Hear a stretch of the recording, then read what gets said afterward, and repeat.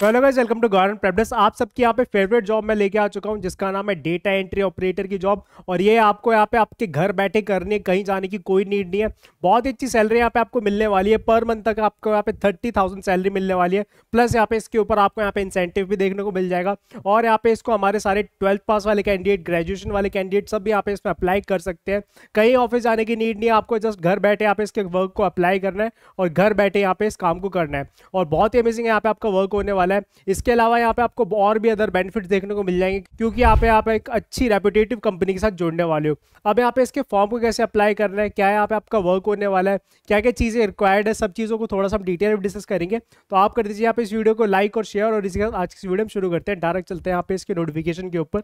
तो जैसे कि आप यहाँ पे देख सकते हैं, आपके यहाँ पे जो प्रोफ़ाइल होने वाली है वो एसोसिएट प्रोग्रामर फ्रेशर जॉब की होने वाली है।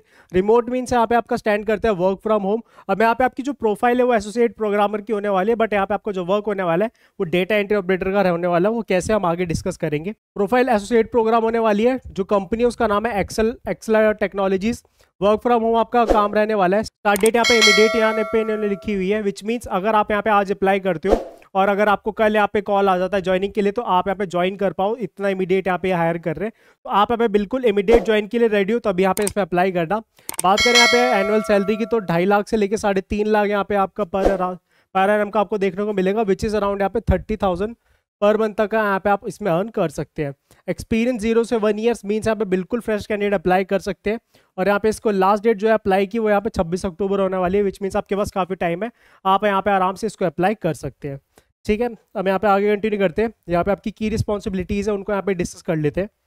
तो की रिस्पॉन्सिबिलिटीज़ में आपका जो फ़र्स्ट होने वाला है, वो डेटा एंट्री एंड मैनेजमेंट का होने वाला है। बेसिकली यहाँ पे इनके जो जितने भी एम्प्लॉयज़ हैं, उनका उनका डेटा यहाँ पे आपको मैनेज करके रखना है। और उन्हीं का डेटा को यहाँ पे एनालिसिस करके यहाँ पे आगे उनको आगे उनको यहाँ पे इंपॉर्टेंट इनसाइट्स प्रोवाइड करनी है। सो बेसिकली फ़र्स्ट पॉइंट में जो उन्होंने डिस्क्राइब करा है, उसको थोड़ा डिटेल में डिस्कस करें। तो accurate enter and updates data in various database and system insuring the integrity and confidential of the information जो भी डेटा यहाँ पे आप इनके सिस्टम में अपडेट करोगे, वो काफ़ी कॉन्फिडेंशियल डेटा होगा। तो आपको यहाँ पे किसी से भी उस डेटा को यहाँ पे डिस्कस नहीं करना है और यहाँ पे इनके सिस्टम्स में अपडेट रखना है।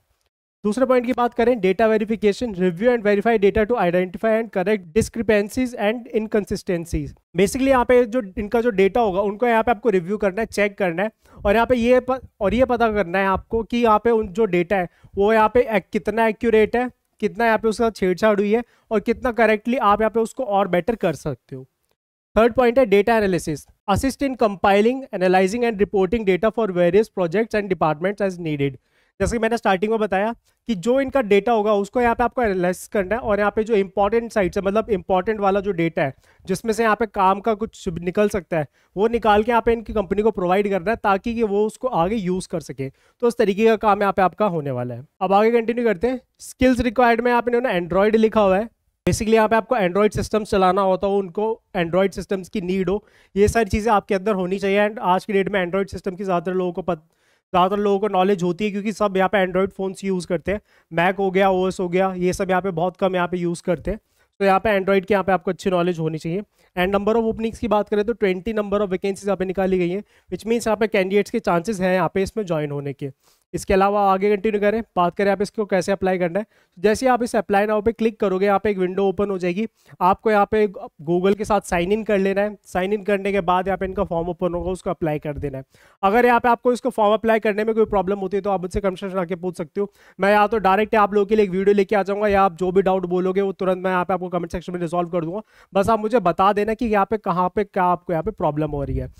इसके अलावा अगर आपको यहाँ पे इस वीडियो के रिगार्डिंग कोई भी डाउट या पे कोई भी चीज़ समझ नहीं आई है तो भी आप मुझसे आगे पूछ सकते हैं। एंड अगर वीडियो आपको पसंद आए तो इस वीडियो को लाइक ज़रूर कर देना और यहाँ पे वीडियो को शेयर ज़रूर कर देना सभी दोस्तों के साथ, ताकि सभी को यहाँ पे डेटा एंट्री का वर्क मिल सके। एंड गाइज़ मैं आपसे मिलूँगा नेक्स्ट वीडियो अपडेट के साथ। तब तक के लिए गुड बाय टेक केयर